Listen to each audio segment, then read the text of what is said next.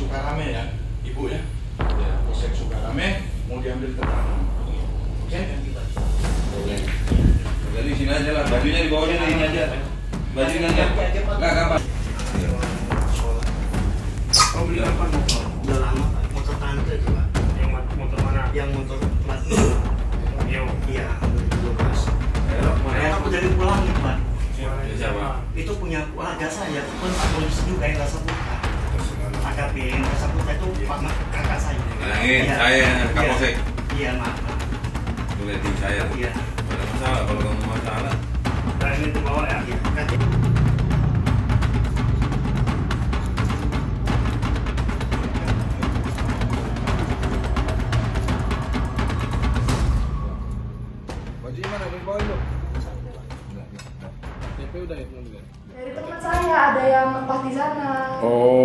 Gitu ditawari. Teman saya, iya katanya ada kosan baru nih, ini murah, apa namanya? Cuma tujuh setengah kata dia, tapi langsung cash katanya. Jadi kita tergiurnya karena murahnya. Iya murah, terus free galon, free laundry itu pak, makanya kita tergiur sama itunya. Jadi total korbannya 75 Iya, orang. 75 orang. Masing-masing itu merugi berapa deh? Ada yang 7 juta, ada yang sembilan setengah, ada yang delapan setengah, ada yang enam setengah, beda-beda pak dia itu. Eh, ada beberapa mahasiswa yang lapor ke Polsek Sukarame, sekitar ada 20 orang rame-rame ke sini melaporkan bahwa mahasiswi ini eh, merasa tertipu dengan adanya penyewaan kontrakan kos-kosan sampai uang sudah ditransfer namun kos-kosannya belum dapat. Dari hasil laporan polisi yang kami terima dari beberapa mahasiswa ini, 20 orang yang datang ke sini, kita dapat eh, teridentifikasi untuk tersangkanya. Kami dengan gerak cepat bersama tim untuk memapping di mana melakukan penyidikan keberadaan tersangka tersebut. Alhamdulillah kami dapat tersangka di eh, salah satu perumahan di Teluk Betung Timur. Kami lakukan penggerbekan di sana. Dari sana kita mendapatkan tersangka dan di sana ditanyakan tersangka mengakui. Dengan barang bukti yang kami amankan sementara baru handphone di dalam handphone itu kita cek transaksi-transaksi transferan dari beberapa mahasiswi tersebut. Ini total korban berapa mahasiswa ini Pak Kapolsek? Untuk total korban 75 korban, namun mungkin ada bertambah lagi. Total kerugian korban ini berapa Pak Kapolsek? Kalau dari pengecekan kami, hasil dari keterangan dari tersangka dan korban yang sudah melapor ke sini sekitar 75 orang itu sekitar 500 juta lebih. Uang itu dihabiskan sama pelaku. Uh, uang itu dihabiskan. Kami tanyakan tidak ada bekasnya dihabiskan untuk kehidupan sehari-hari, foya-foya dan bersama keluarganya.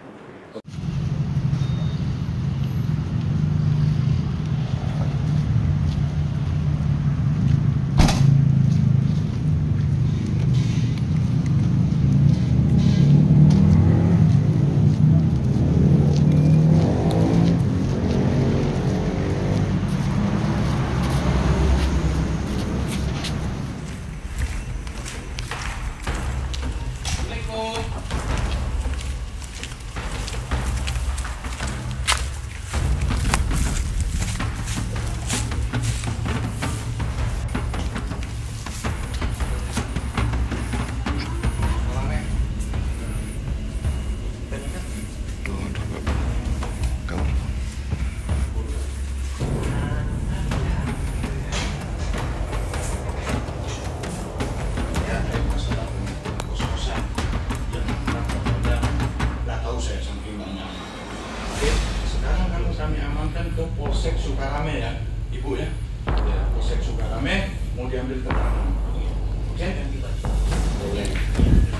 sini aja lah, bajunya di bawahnya ini aja.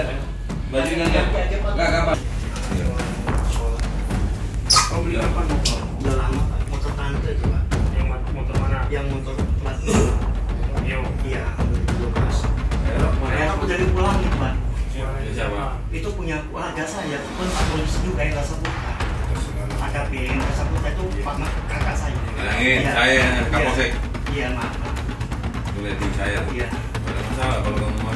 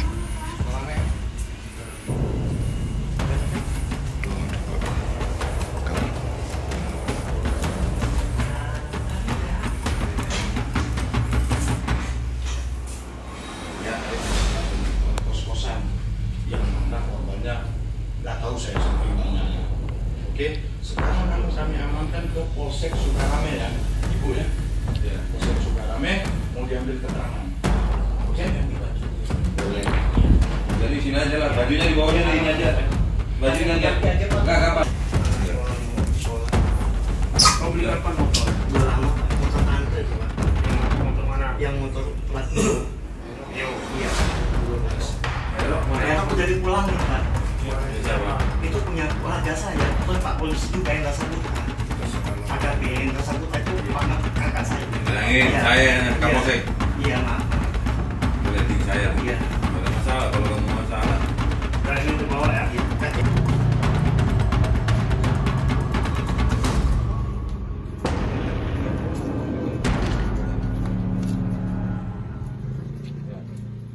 Bajunya mana? Udah dibawa belum? Udah, udah. KTP udah ya? Belum ya? KTP udah. Udah. KTP udah.